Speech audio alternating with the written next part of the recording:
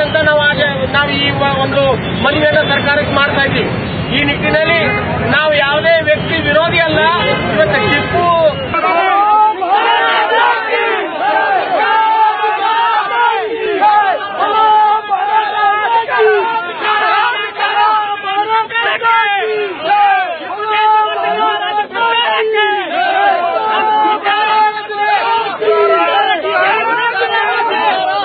ಕನ್ನಡಕರಿಗೆ ನಾವು ಮುಡಿಯುಕೊಳ್ಳ ಪ್ರತಿಭಟನೆ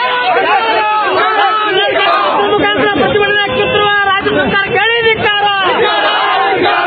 ಭಾರತ್ ಮತಾಕಿ ಭಾರತೀಯ ಜನತಾ ಪಕ್ಷದ ಸರ್ಕಾರ